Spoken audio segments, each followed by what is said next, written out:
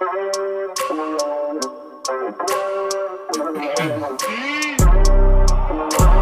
wake up every minute with a fever dreams. I put the mind to a limit where it needs to be. I work I got vision I don't need to see. I'm picking mind over matter, I believe in me. I need to find more hours in the day to breathe. Need to find more power in the way I be. And when my mind turns sour with the painful scenes, I need to scream out loud, I can't stop me. I wanna be the greatest like Rocky. You know I leave them all hating like a hobby. I'm out here making moves like a lobby. And if you ain't with me, it's your. See, I got my mind on the facts. I'm a python, grab what I like real fast. Choke until I have everything I attack, everything that I lack, everything that I want, and I see. Matter of fact. Cause I'm my own worst enemy Only if I let it be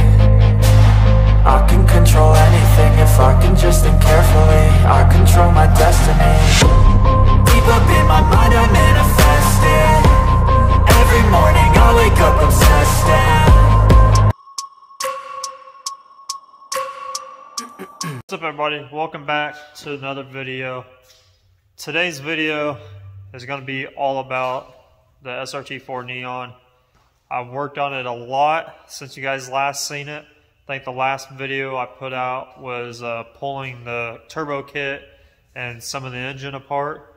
And I want to show you guys everything that I've been doing, walk you through it, because right now we're in the process of painting the engine bay. So I'm gonna walk you guys through it um, step by step of what I did, what you'll need to do if you're looking to do this to any of one of your cars as a project.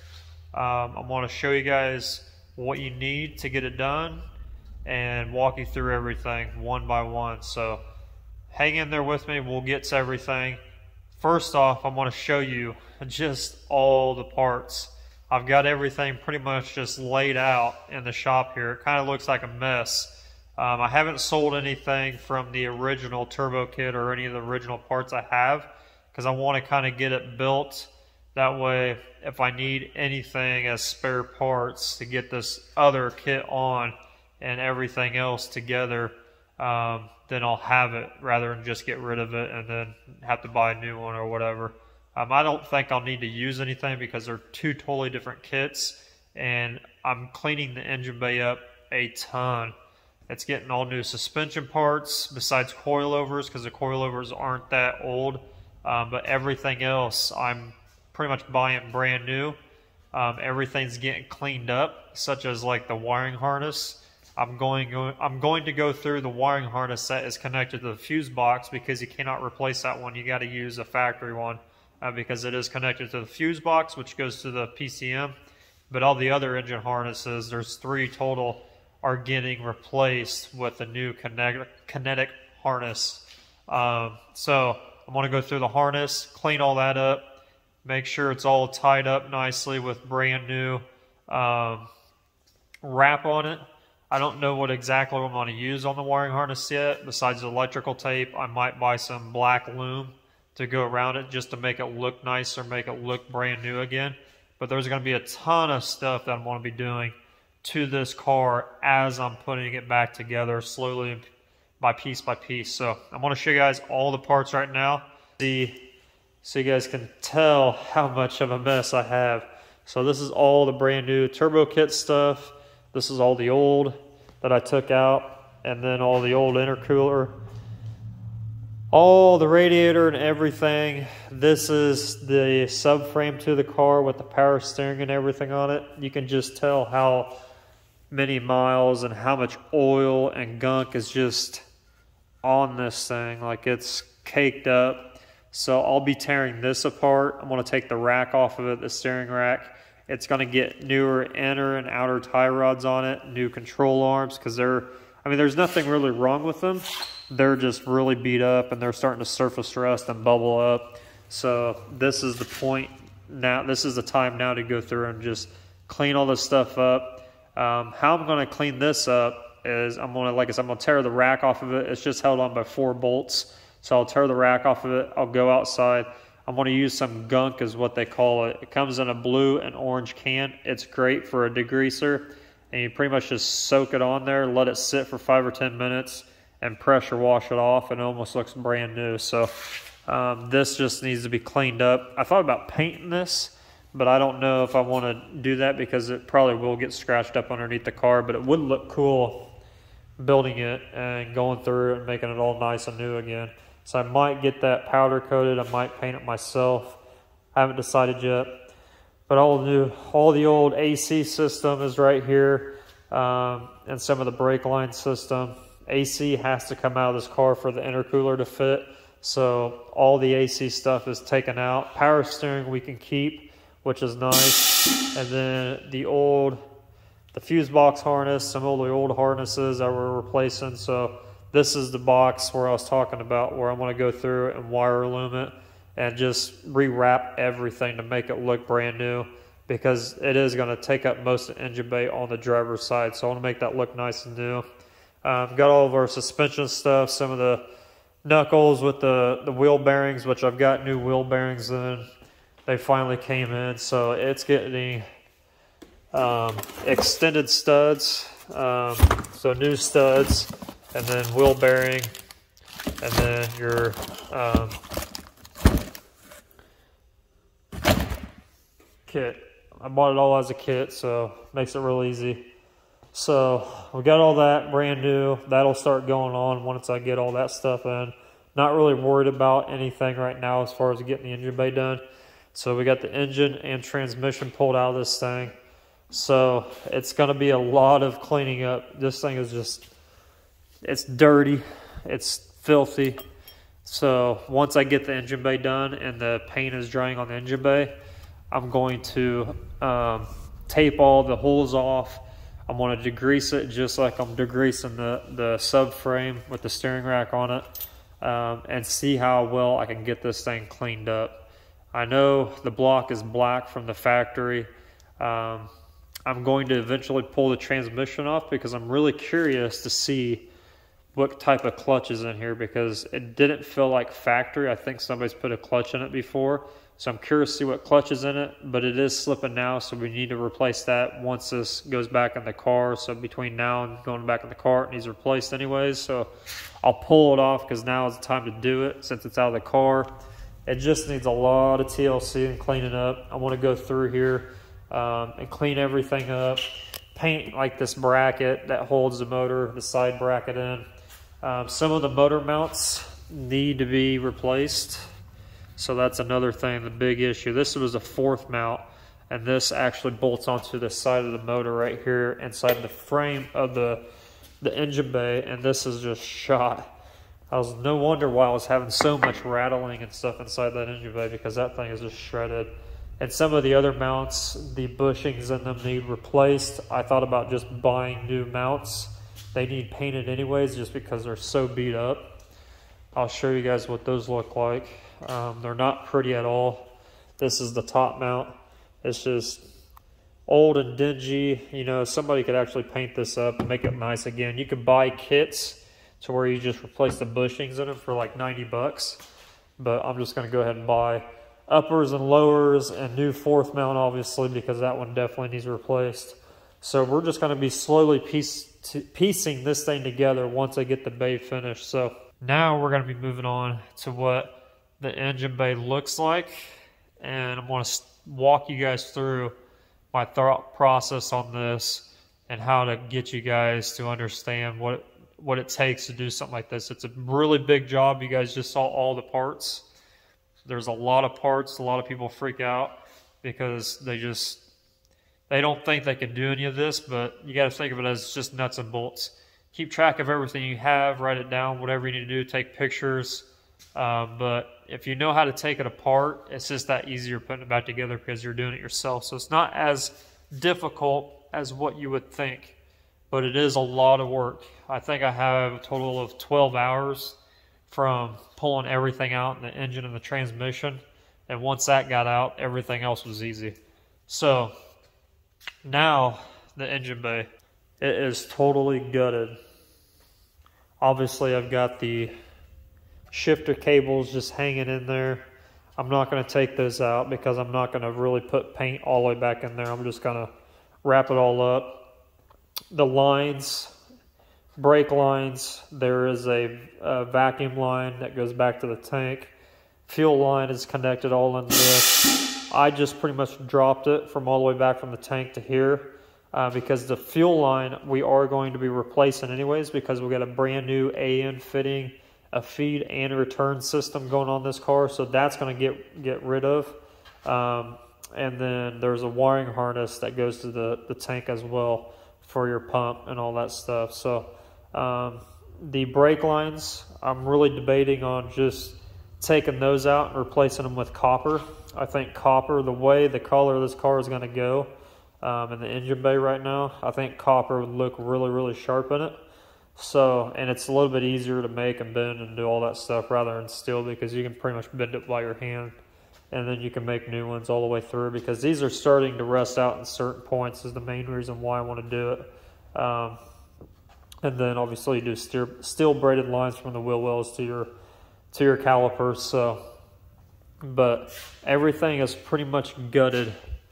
Um, obviously, you got the heater core system. I'm not going to take those out. I'll just end up taping those off. Um, not a big deal. This is the block for your AC, so I'll end up taping that off as well. Not a big deal for that either. These are just going to get tucked up on top, or actually I might just shove them back in there because I'm going to be back taping that wall anyways. There's a cover that goes over that for the wires, so that'll all get tucked in there out of the way. Um, cap for your steering rack, that's going to just get taped up. So once I got everything out of here, I wish I would have took a video of it but I did not because I was in a hurry and I just wanted to get this stuff done and onto the paint process. But it did not look this clean in here. Obviously, the factory color was silver PS2 from Chrysler. So it's still silver, but I'm telling you, from the back of the rack all the way up to about right here was nothing but black. It just had so much gunk and road tar and just oil and grease everywhere on this um, engine bay, and that was pretty much the why I went ahead and just pulled the motor because if you guys watched one of the videos I made before, before even starting to tear this thing apart, um, I was just going to put the custom turbo kit on it, enjoy it for the summer, and then once I got downtime, pull everything out and paint the engine bay and do what I want to do and clean it all up then. But once I got pretty much down to the wire and looking at um, everything, when it was just the motor and transmission sitting here with the subframe, I noticed how dirty it was and it was just driving me nuts. So that's when I decided to pretty much tear everything apart.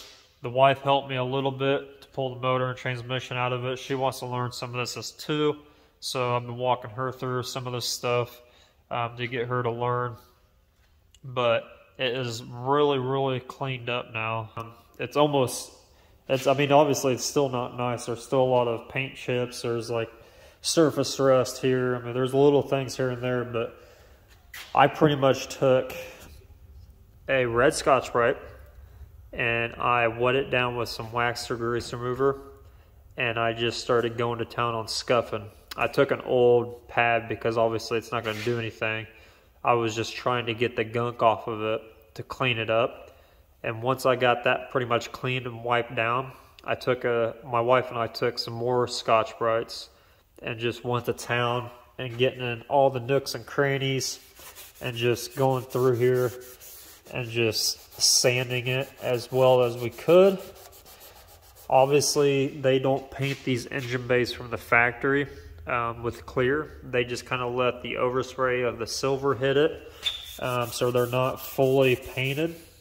So scuffing it and shooting it is what all you pretty much need to do. But since this thing is so scratched up, um, I will be taking some 400. I've got 400 on a DA. And once I get everything scuffed, I'm going to go around and I'm just going to buzz all this stuff down and make it all smooth. It's going to take all the paint off of it pretty much. All this surface rust in here is all going to go away. And I'm just going to start buzzing everything down. This black, I don't know who painted this black, but they don't come to the factory like this. It's all supposed to be silver. Somebody spray painted it. So I'm going to be stripping pretty much all this off, getting it all down to where it can get sealed and then base coat and clear coat and we're going to make this thing stand out. So, just a little up to date on what I've done. That's pretty much where I'm at right now is uh, scuffing it, sanding it, getting it prepped, and then we can get it taped up and cleaned and ready for paint. Painting this thing won't take me probably about 30 minutes to paint this. It won't take long at all. Once everything's taped up and cleaned, it's pretty much, you know, no time at all. But another thing that's probably pretty obvious, if you guys have neons, you'll probably notice this before I even say anything. But there's a big hole from here all the way to here missing. I ended up, what I did was I cut the hole, I mocked the motor up, and then I mocked the turbo kit to the motor is what I'm trying to say. Because it has a um, cowl exit exhaust, I went ahead and I cut the holes out for the exhaust. And it looked decent. I was pretty happy with it. Um, and then I started looking at custom cars and some SRTs that are drag race only cars. They've done this to a lot of them. A lot of guys will get rid of this whole tray back here. Um, and I did not. I have a reason for that, but I pretty much just cut this big old square out of it because um, I'm going to be running a plexiglass uh, cowl up here. And my reason for that is since I'm cleaning all this up, I want people to be able to look down in here. You know, the hood's going to come like right here. So you got this room or nothing but see-through. Now, most of it over here is going to be the exhaust. Um, and a lot of it's going to be the exhaust dumps coming out the cowl. But everything else is going to look brand new. So I want people to be able to look inside of here and see and just see how clean it actually will be once it's totally finished. Now, the reason why I only went down to right here was because the motor for your wiper arms sit right here. So I did not want to get rid of my wipers because I do want to drive it. Obviously, it'll probably get driven in the rain and everything else. It's not going to be totally like a show car or drag car. So I wanted to keep the wipers, so I'm not going to cut that off. And those wiper motor bolts right here. So if you want to keep your wipers, you can't really cut this off. I thought about just cutting this down to over here and keeping this, but this is so flimsy that that's probably not going to work either. So I went ahead and just kept some of it. Now we're going to paint all this inside of here, make it all look nice. I've been back here scuffing it. That's why there's so much dirt back here. But I've been back there scuffing it, getting it ready for paint because it's going to be just as slick as everything else inside of here. So yeah, that's pretty much where I'm at right now, guys. Um, not too crazy when you're doing this, obviously you need to get to the point of everything out of the vehicle. Um, I've painted engine bays before where people didn't want to pull the motors and everything else. And it's just, it's not fun at all. It's not fun for the person doing it. And it's not really a clean job. There's a lot of taping off. You're going to see stuff that you didn't get to get um, because motors are tightly snug in a lot of cars. In this car, they're really snug in here. So there's just no other way to do it besides pulling everything out and just getting down to the nitty gritty and getting your hands dirty and doing it. Um, you'll be happy when it's done. A lot better off than if you would just tape everything off. I've seen a lot of guys, especially with these cars, they'll pull like pretty much everything out besides the subframe, some of the wiring, and the engine, and they'll just wrap it in plastic. Um, and then they'll paint it. And then when they pull everything off, you can see where all the, the paper and everything hit. And it's just, it makes it a mess. It's not really a clean job. Um, I don't recommend it. Um, I'm to the point of my career that if you don't want me to actually fully take things apart on your car, then I'm just not going to do it. I just don't want to have the hassle of it because it's going to peel, it's going to chip a lot easier. Um, everything needs to be folded around type spots. So when you don't take stuff off, it creates that hard edge line and it's going to peel one day. So, and it just doesn't look as good to be honest with you. You know, if you're paying a lot of money to get something done, just go ahead and do it the right way. Um, but yeah, that's pretty much it. And the other thing, a little bit of a trick. Um, that I'm going to be doing on some of this stuff.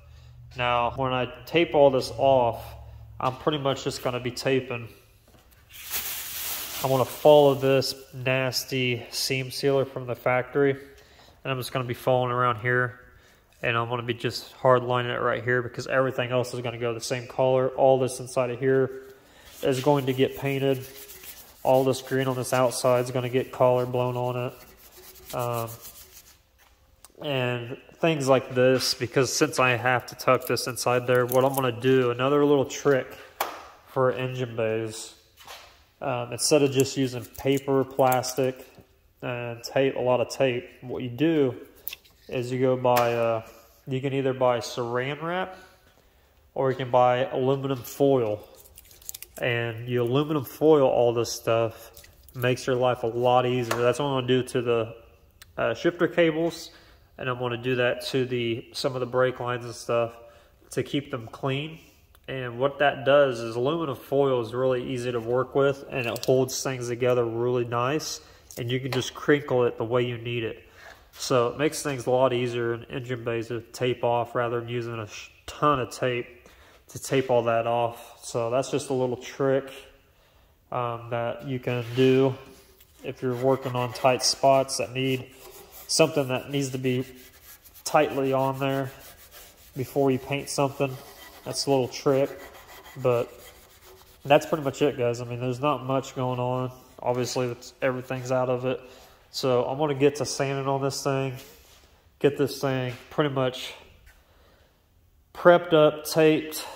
Um, the whole car will get taped. Same way on this side is going to happen on this side. You know, I'm just going to follow this nasty liner all the way around here hard line it down there. I'm going to let overspray blow all inside of here. Um, I might go through here and sand some of this flat um, and get some of this. That way the paint's going to stick on it. I might just scuff it real quick. But it doesn't look bad in here. It's still pretty solid. Uh, the chip guard and stuff they use from the factory is still on there pretty nice. So, But I'm just going to let everything blow on. I'll scuff all this, sand it all down. But everything else, I'll just let it kind of just dust it on there. And then I might go back over it with this, um, some new chip guard, black chip guard, or rhino lining. One of the two, I haven't figured it out yet. And just do this whole inside, that way rocks and everything else doesn't chip everything up. And it's just a little bit more durable. So I'm gonna get back to it, get this thing sanded, get it prepped up, and then we're going to be slinging some paint, so stay tuned.